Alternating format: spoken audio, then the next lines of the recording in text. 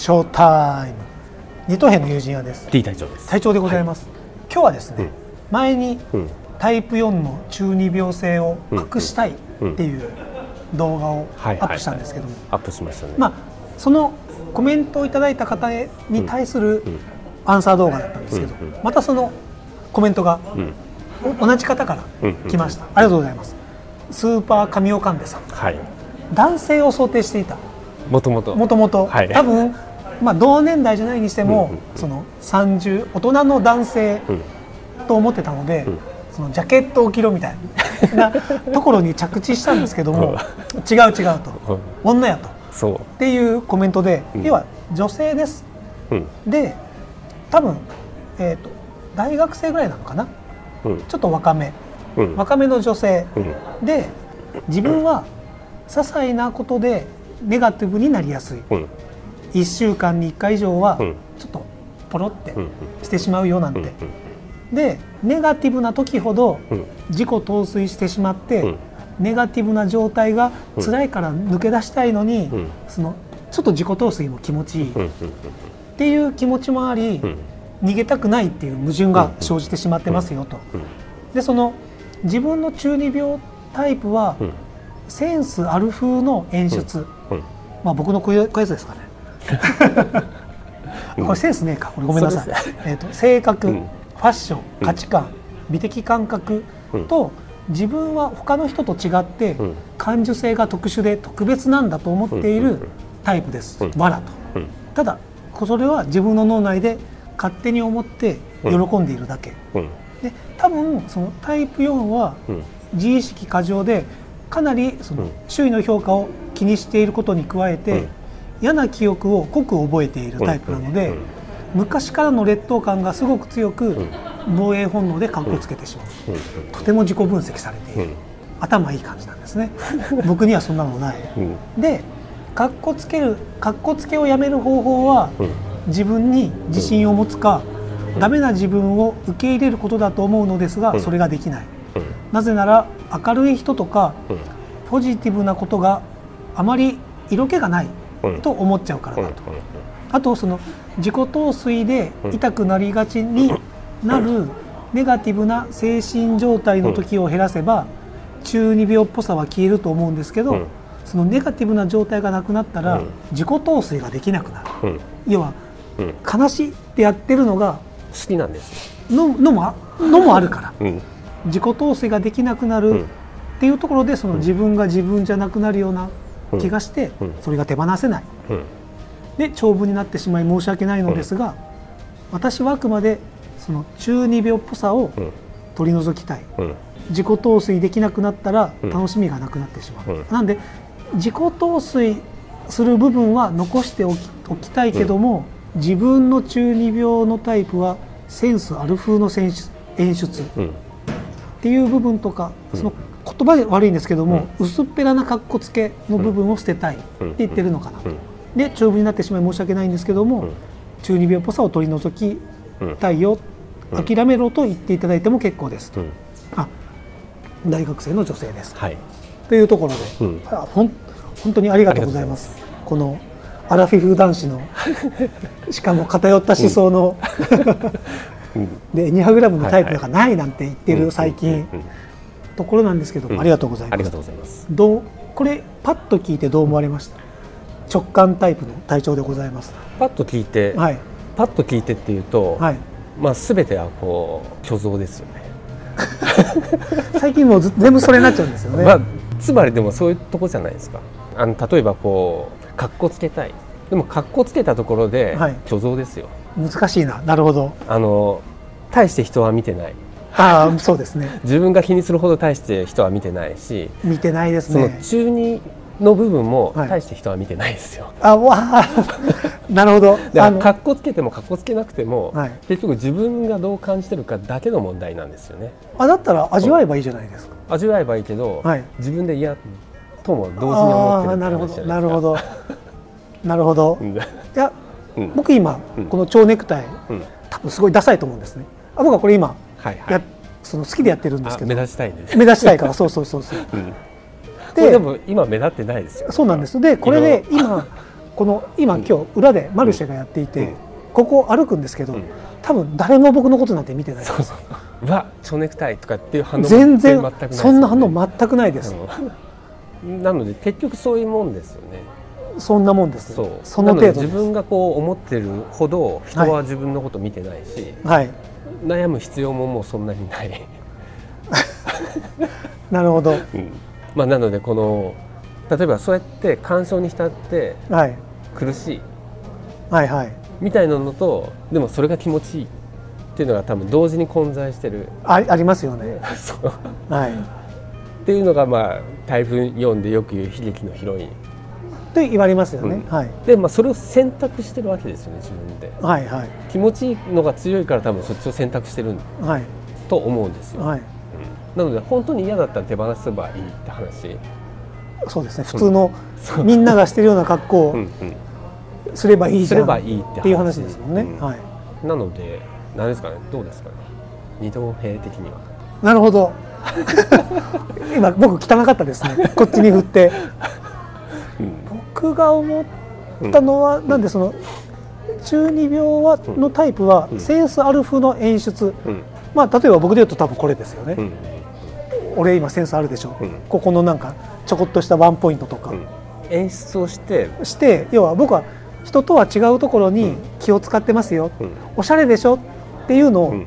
僕は見せたいんですよ。うん、で4の人も多分似たようなもんじゃないですかね。だから眼鏡もうんあのちょっと高いのを買って、うんうん。あの週にうん。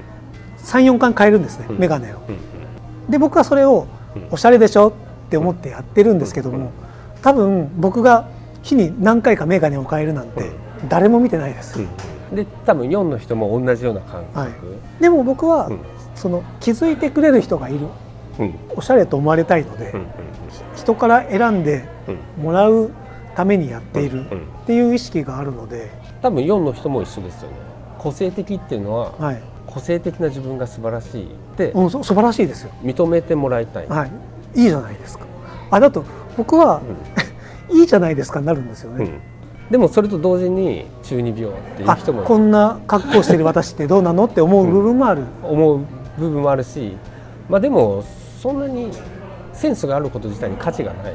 あまたこの話ですよ、なるほど。うん。価値があると思ってるだけ。っ僕は価値があると思ってますけどね。ていうのは、はい。でも価値があると思ってて悩んでたら価値がないですね。悩むだったら価値がないです。やめやめやめちゃえばやめてしまえばいい。いいっていう話ですよね、でそこが例えばセンスがある人が価値があるはい。のであれば他の人が価値がないって話ですからね。だから価値があると思っているだけなんですよ。僕は価値がないなんて言ってませんよ だから価値があると思っている、はいはい。でまあそういうふうに思う人もいるっていうだけの話じゃないですか、はいはいはなのでそもそもそこに本当に価値があるのかないのかって言ったら価値がないんですよ。聞く相手が悪い。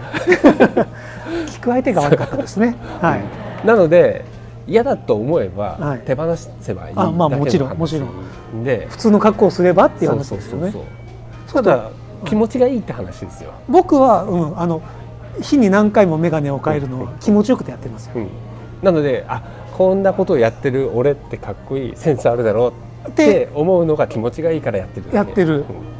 だったら気持ちがいいならやったらいいよね。であのそれを分かってくれる人がいるからそれ分かってくれる人のためだけに誰も分かってくれなかったらやめます多分やめないです、うん、やめない気持ちいいからね。気持ちいいから、うん。うん。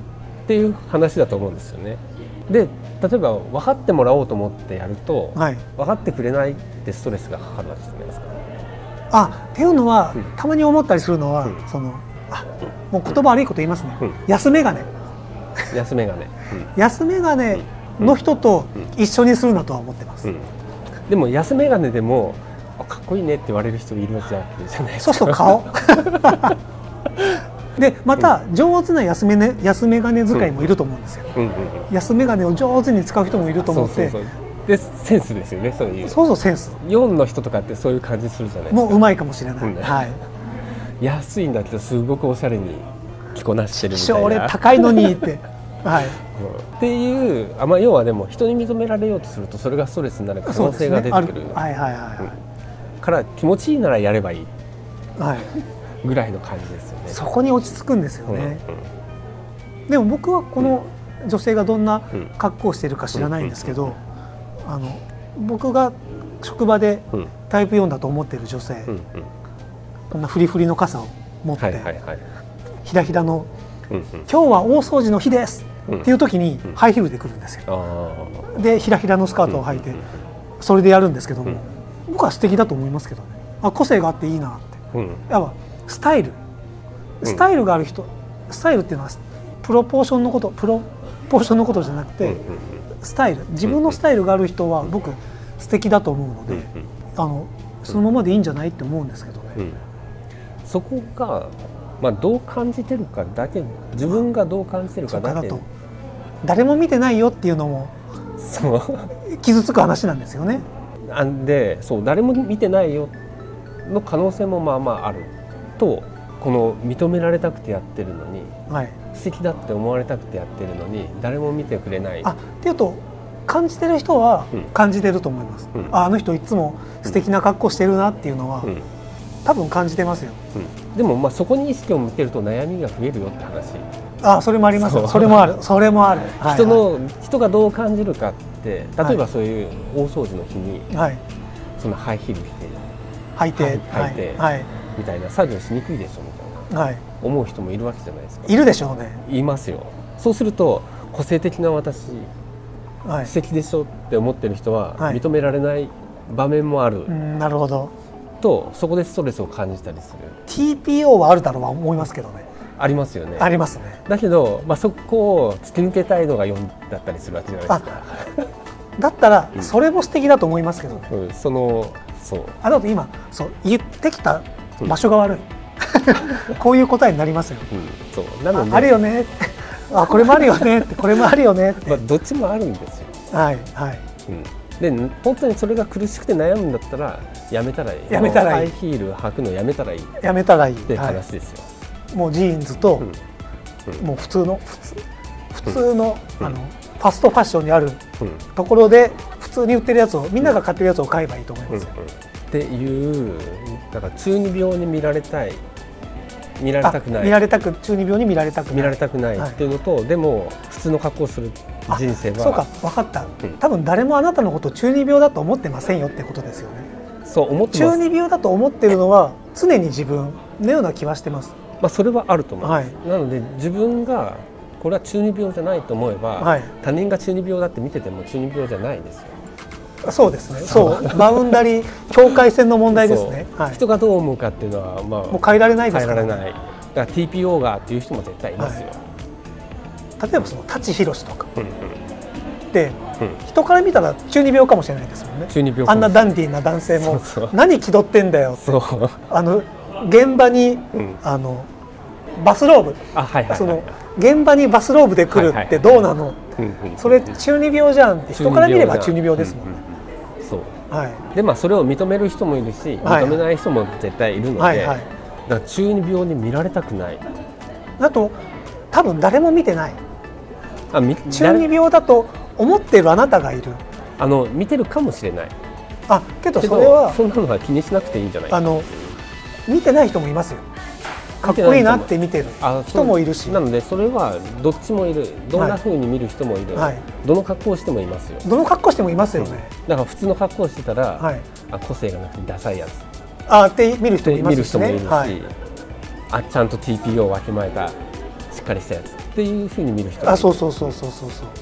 僕はそういう個性的なファッションの人のことをうんうん素敵だと思って見てますよ、うんうんいいなと思って見てます高いんだろうな本当にいいなと思ったらやるんですよ。あっていうと、うん。その手の服は高いよねがあるんですよ、高くても買うわけじゃないですか。その手の人なるほど。給料20万あ僕僕っていうか給料20万はい。しかないのに、はい。15万円分服買うとかするんですよそういう人なるほど、うん、そこの能力はそうですね。そう。そうなると能力になってきます、ね、本当に好きな人は多分、なるほど。うん。なるほど確かに。うん、だからまあ気にしなくていいっていうのは多分、そうです。なんで、うん。あの諦めろと言っていただいてもいいですって書いてあるので、まあ諦めろ。諦めろそう、はい。けど諦めろでもないんですよね。諦めろでもない、はい。手あ手放せと同じ意味なら、同じ意本当に味ですよね。もう心の底から中二病で見られたくない。はい。だったら中二病で見られないような格好をすべきだとは思うんですよね、まあそうです、うん。